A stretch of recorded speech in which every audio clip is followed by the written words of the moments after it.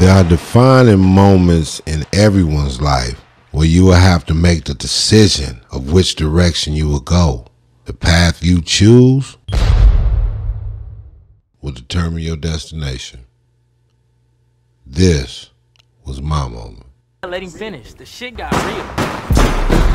Spit out the window while the car moving. Eventually that shit gonna get in your face. Let that shit go.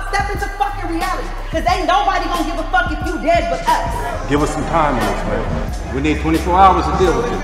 Nigga, why it can change me? Nigga, a pig can change me. Nigga, can't nobody change me, nigga.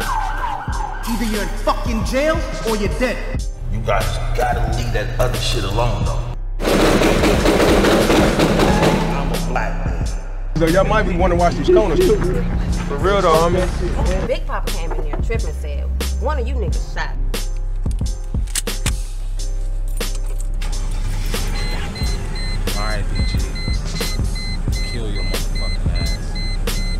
no one can predict how or when they'll go.